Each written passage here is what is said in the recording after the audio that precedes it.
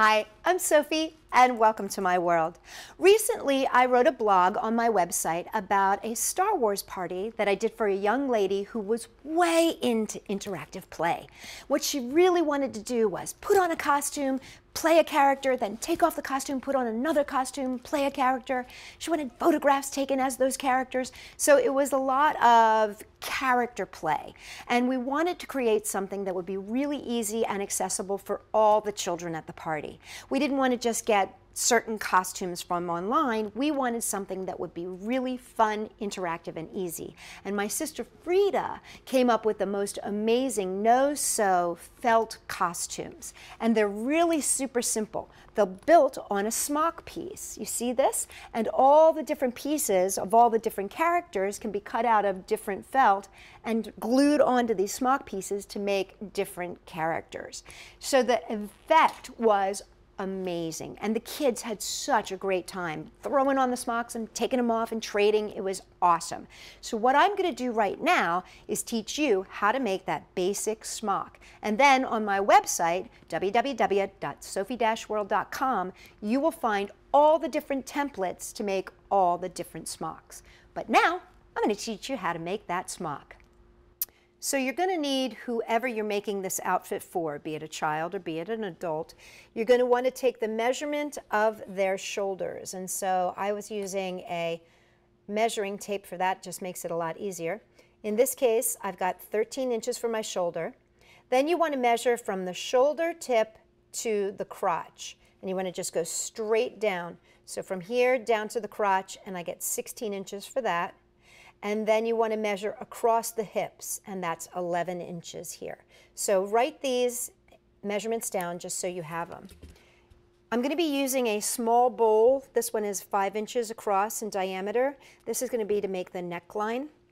I've got my scissors, I've got my ruler, my measuring tape, a Sharpie pen, and then some paper. Now, you can use, this is this brown paper that I have um, that comes on a roll, but you can use any kind of paper that is wide enough and long enough. So if you've got wrapping paper, wrapping paper is great. You could use newspaper. You can really use anything that you have. You could even take a paper bag and open it up if you wanted to.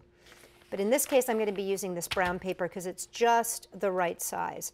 So the first thing you want to do is take a piece of paper and you want to make sure that you have enough so that it is double the length. So in this case, 16 inches here, I want to make sure that I have 32 inches of paper. And you take that 32 inches of paper and you fold it in half. Give it a nice good crease. And then fold it in half the short direction so that you can get center. All right, so now I've got my center right there. Now with my center, what I'm going to do is I'm going to measure the 13 inches. But I want to give myself a little bit extra, so I'm actually going to add an inch on either side to give it a little bit more in the shoulders. And so that's going to become 15. So you add two inches to your number, and that gives us 15. So measuring here, seven and a half inches from the center here.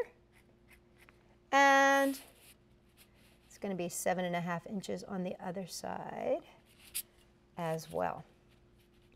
And you mark that on the edges there. Then you would measure down your 16 inches, which this piece is exactly 16 inches. And I want to measure 11 inches across. And again, I want to add that two inches.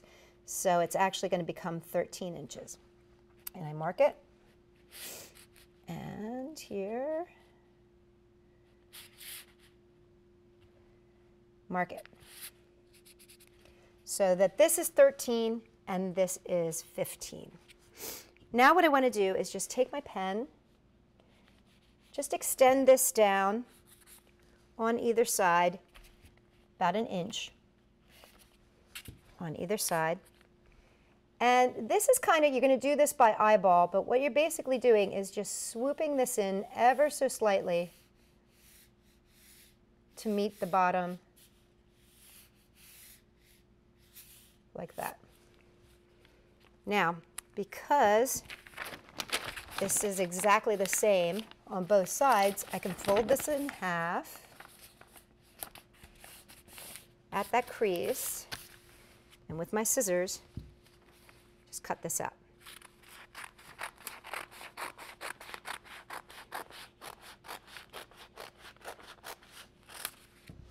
There we go. This is giving me my basic shape. Now, I'm going to take my bowl here, line it up so that it's right in middle from here and from here. And I'm just going to trace around. This is going to be for my neckline. And cut that out.